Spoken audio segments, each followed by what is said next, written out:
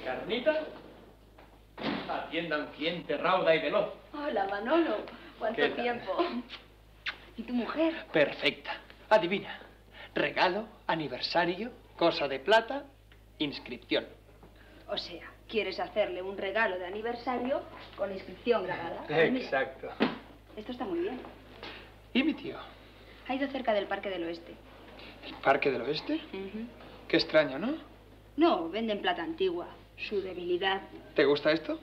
Está muy bien, a mí me gusta. ¿Qué quieres que le grabe? Una fecha. 1492. ¿Qué me recuerda ese aniversario? ¿No se descubrió algo en 1492? Se descubrió el sitio donde nacen las chicas americanas. Y Hollywood, donde hacen los largometrajes y los telefilmes. Por cierto, ¿y tus películas? Esperan el soplo del genio que las haga, que soy yo. De momento ruedo spots publicitarios para televisión. Me encanta. Nueve de cada diez dependientes de joyería de la Plaza Mayor usan jabón. Sueños de gloria. Sí, dígame. Hola, jefe. ¿Todo bien, Encarnita? Eh, sí, sí, se me ha hecho un poco tarde. Claro, es que he tenido que convencer a esa señora de que la plata antigua que me quería vender era latón y además moderno. Regalo de un señor de La Coruña. Ahí la ha dejado a la pobre lamentando la falsedad de los hombres y de la plata. Sobre todo de la plata. Está aquí su sobrino Manolo. Ah, está Manolito. Hombre, que se ponga rápido. Sí, sí. Que te pongas. Tu tío. Hola, tío. ¿Qué hay? Sí, un regalo para Esther. Pero como hay que grabarlo, volveré mañana. Sí. Sí, claro, conozco tu estilo. No tienes que agradecerme nada, tío. Lo haré encantado. Un momento.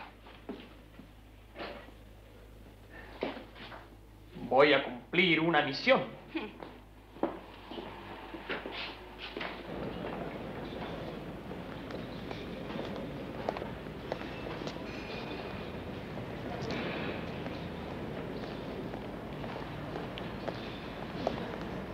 Doña Loreto, de parte de mi tío que es usted un monumento del barroco madrileño, pero en moderno. Vaya, pues es la tercera vez que paso esta mañana por delante de la joyería. Mi tío lamenta la imposibilidad de ofrecerle personalmente sus respetos. Ya me extrañaba a mí. Bueno, pues muchas gracias. A sus pies.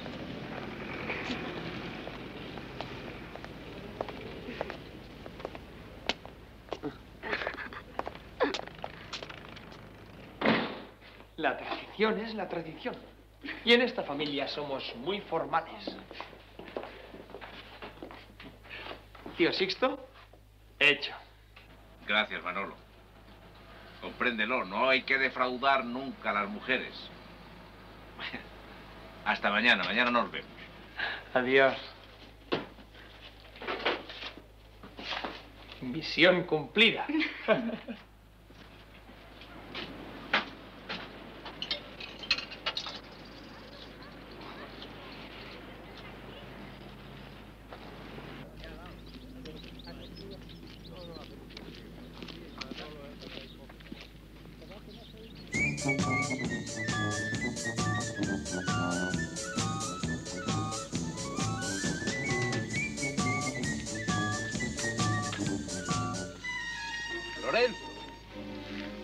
Pero, hombre, Lorenzo.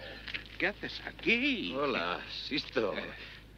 Pero, hombre, Sisto, ¿qué haces aquí? La conversación empieza a resultar monótona. ¿De boda? No, De bautizo. no, No te habrán hecho concejal. no. Verás, te lo contaré. No hay remedio, Sixto. A estas horas se celebra la toma de posesión de tres directores generales. En este banco. No, en el ministerio.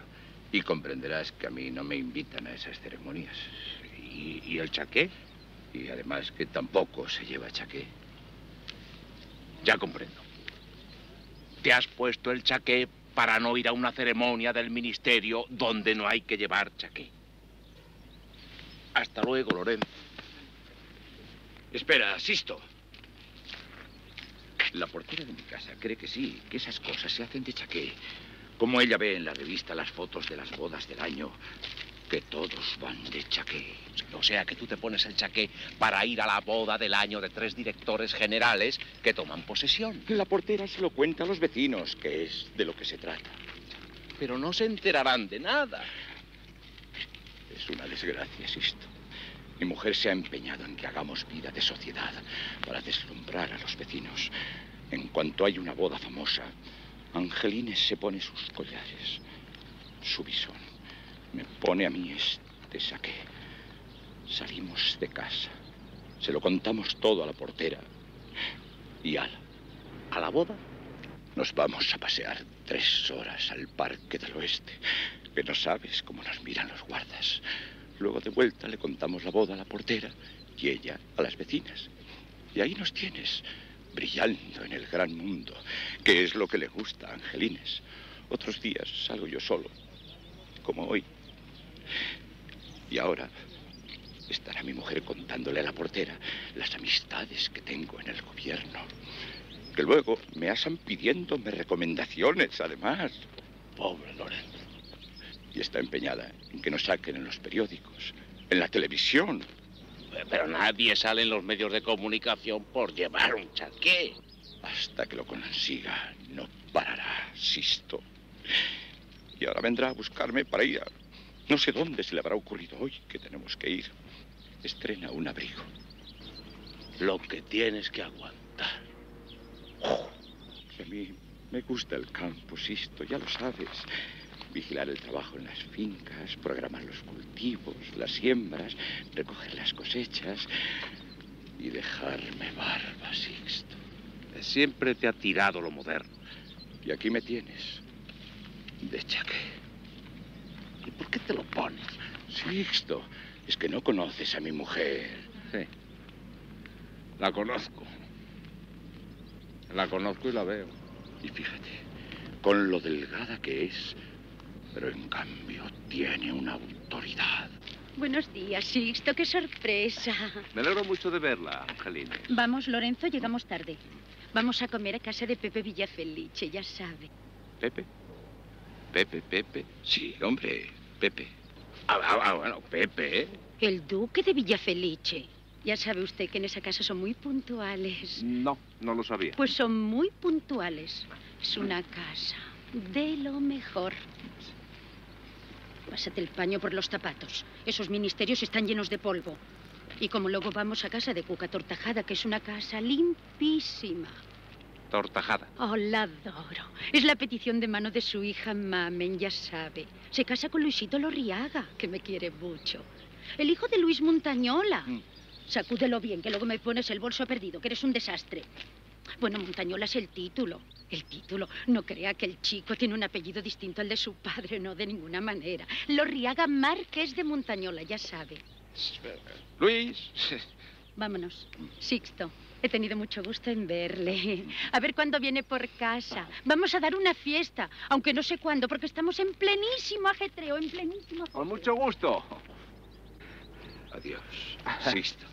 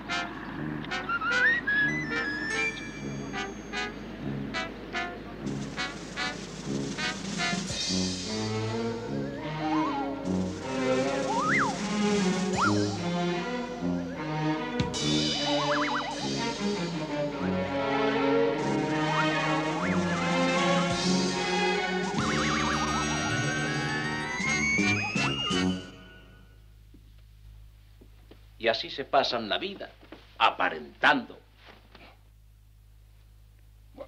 No hay que desdeñar las buenas apariencias. Esa mujer solo quiere figurar, salir retratada con su marido en los periódicos y en la televisión. Y a mi amigo Lorenzo le gusta el campo, montar a caballo, cuidar la tierra y sobre todo dejarse crecer la barba. Los agricultores siempre queriendo que crezca todo. Pero ¿por qué han de vivir en Madrid? ¿Por qué han de aparentar lo que no son? Mira, Sisto, ya sabemos que el hábito no hace al monje, pero nadie llega a ser realmente un monje si no empieza por ponerse el hábito. Es lícito aparentar, porque aparentar implica capacidad de posesión. Sin ir más lejos, precisamente mi padre, es decir, tu bisabuelo, La tua povera cerlina starò qui come agnellina. tu bisabuelo, es decir, mi padre, atravesaba una difícil situación económica. Su padre, es decir, mi abuelo, es decir, tu tatarabuelo, había perdido una fortuna, incluida la tienda en las ruletas de los casinos. Después de hacer esta gracia, se murió. Sin embargo, mi padre, es decir, tu bisabuelo, huérfano y arruinado como estaba, nunca dejó de parecer lo que era realmente. Un caballero.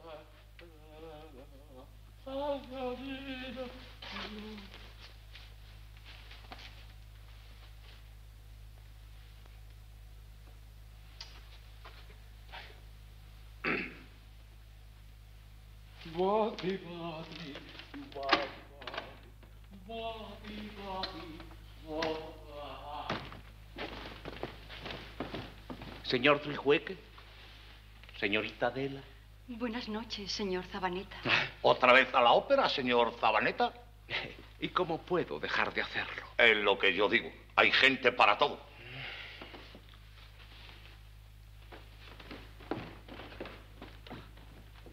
Qué elegante y qué espiritual.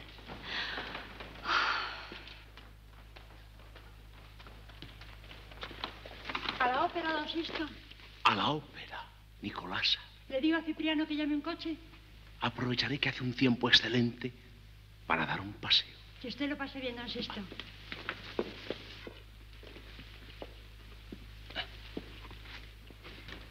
Ahí donde usted lo ve, se codea con lo mejor.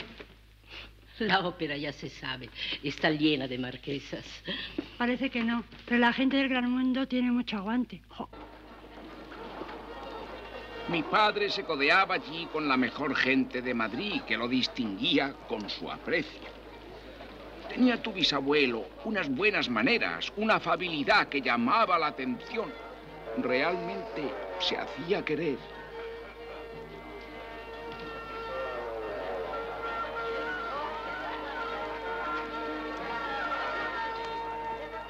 Hizo muchas amistades que habrían de serle muy útiles en el futuro. ¿Quién podía reprocharle su afán de relacionarse? Gracias a esta asiduidad conquistó el corazón de una bella señorita, la que luego fue mi madre, es decir, tu bisabuela, con la que formó un hogar feliz y próspero.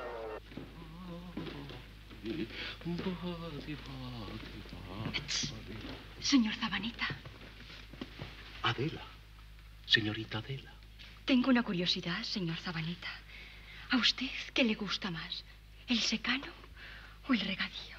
En cuestiones agrícolas no tengo mucha preferencia. Tal vez el regadío sea más fresquito en verano. Uy, cómo me alegro, porque mi padre piensa dotarme con fincas de regadío cuando me case. ¿Y si a usted le gusta? ¿Acaso ha pensado usted en mí para... Es usted muy amable, señorita Adela. ¿Y ese regadío dónde cae exactamente? En la provincia de Toledo. Tierras bañadas por el glorioso Tajo. Señor Zabaneta, señor Zabaneta. Adela, Adela mía, Señor Zabaneta. llámame Sixto. Sixto. Nunca se arrepintió mi padre de haber puesto los ojos en aquella mujer. Gracias a su abnegación, su sacrificio y su sentido del deber, pudieron recuperar otra vez la joyería de la Plaza Mayor, esa misma de la que tú ahora disfrutas. Ya ves lo que puede hacer un frac, ¿eh? Pero mi amigo Lorenzo solo se pone el chaqué para esconderse. No se relaciona con nadie. No, pues que se relacione, que se deje ver. Verás que pronto recoge el fruto. No sé, no sé. Ahora que ni siquiera hay ópera. Ah, ya no. No.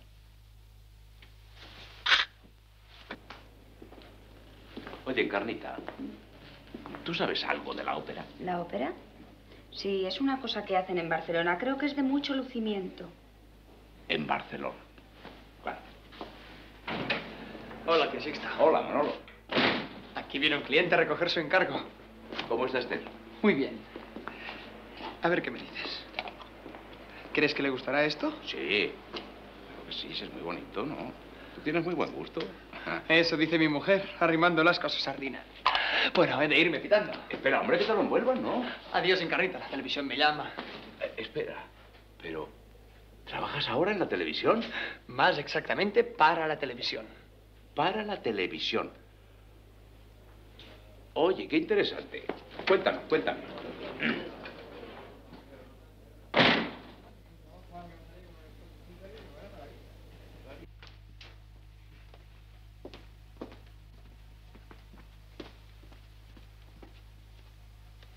Levanta la cabecita. Ah, sí, que estás apoyando la cabeza sobre el paño bueno, como si fueras una visita. Y levanta los piececitos. No pises la alfombra persa. ¿Persa? Yo no sabía que era persa, pero vino doña Rosario, la del quinto, y me preguntó, ¿esa alfombra es persa? Y claro, le dije que sí. Le tiran a uno de la lengua. ¿Qué vaso es ese? Pero de la cristalería buena. Tú estás loco. Una cosa es vivir de las rentas y la otra imitar al Shah de Persia. Te has puesto whisky de etiqueta negra. El de las visitas. No te conformas con nada, Lorenzo. Eres insaciable.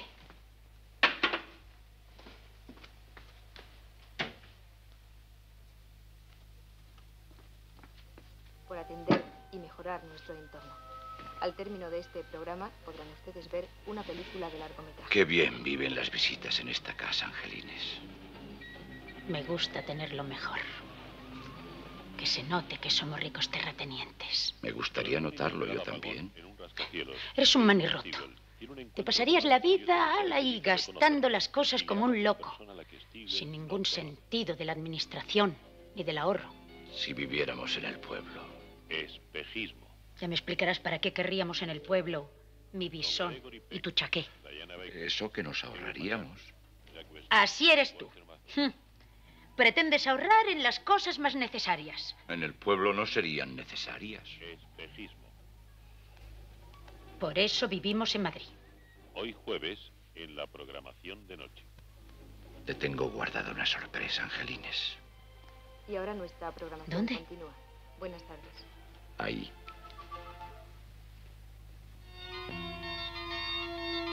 ¿Qué va a tomar? Eres tú. Una copa de anís. Es un hombre elegante. Pero que sea anís castañuela. Elegantísimo. La elegancia no consiste en el traje, sino en un elegante comportamiento. Sea usted realmente elegante tomando a anís castañuela. Cultive la elegancia en el comportamiento y olvídese del traje. Ah, la bebida refrescante. Mm, la bebida burbujeante. La bebida Angelines. señor, La bebida que hará furor en el verano. Di algo, por favor. Angelines. No. ¿Qué te pasa, Angelines? Dios mío. Si está congelada. Cualquier punto de nuestra geografía es fácil encontrarse con la presencia de un campamento, un albergue juvenil, una casa Diga. de la juventud. Diga. Cualquier lugar Ah. puede ser escenario para llevar a cabo la marcha o actividad al aire libre correspondiente. Y periódicamente los jóvenes de todas las provincias españolas Sí, diga. se dan cita en reuniones de Ah, Lorenzo, sí. Campamentos, marchas, ¿Qué? certámenes, juegos escolares nacionales. No, no, hombre, no. del deporte escolar, No será nada. en la que se dan cita No te pongas nervioso, Lorenzo. Sí, a sí, voy, voy. Voy ahora mismo, sí. Sí, hombre. Llamaré a un médico. Sí, sí, que voy enseguida, sí. A- a- adiós. Tranquilo, tranquilo. A la mujer de Lorenzo que le ha dado un patatús. Pues hijo, no sé qué más quiere. Su marido estaba elegantísimo. Voy a comprar anís castañuela, no te digo más. Lo que puede la imagen. ¡Qué vergüenza! Anunciando anís con el traje de las tomas de posesión. Le han llamado señor Duque Angelines. ¿eh? Nunca he visto ningún duque con ligas. Nunca has visto a un duque en calzoncillos. Tú a callar. No me divorcio de ti porque alguna amiga se frotaría las manos de gusto. Y porque soy muy decente y porque soy muy mía. Y tú también eres muy mío. De modo que a callar. Lo que no comprendo es tanta precipitación en marcharse. ¿Con qué cara voy a presentarme mañana delante de las vecinas? ¿Qué habrán pensado cuando hayan visto a ese miserable emborrachándose con anís en la televisión? No, no estaba borracho. Pero lo parecía. Y la apariencia es lo principal. Se ve muy claro que es un anuncio. Mucho peor. Pensarán que necesitamos el dinero. Creerán que estamos arruinados. ¡Qué vergüenza! ¡Qué vergüenza! Hay actores muy ilustres que también hacen publicidad. Sí, sí, sí. No querrá compararnos a nosotros con esos bohemios. Ah, no, no, no. Eso. eso. ¿Y dónde piensan ustedes ir a estas horas? Esta noche al hotel. Y mañana al pueblo. ¿Al pueblo? Sí, pero no te hagas ilusiones. Tú recluido en la finca, sin ver a nadie, ¿Ah, sí? hasta que te crezca la barba. La barba. Sí. Así podremos decir que ese de la televisión no es más que un actor que se te parece. Vámonos. Sí, sí, si no les importa, les acompaño. No, gracias por su ayuda, Sixto.